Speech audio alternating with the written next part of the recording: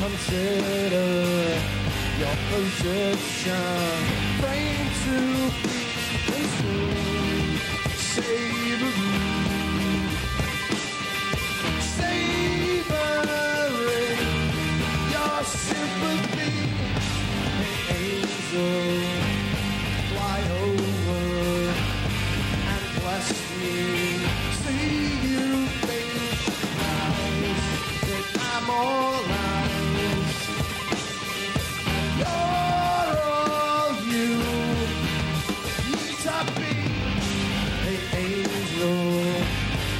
whatever position we consider to put you in.